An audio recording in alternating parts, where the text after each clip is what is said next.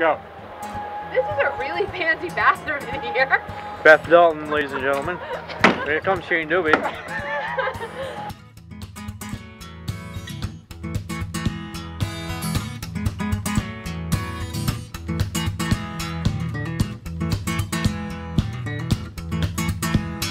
Well, I'm going back to my hometown. I'm gonna check out my old stomping ground. Everybody knows me, all the girls love me there. Oh, they love me there. I've been lonely, baby, and a long, long way from home. Yes, I have.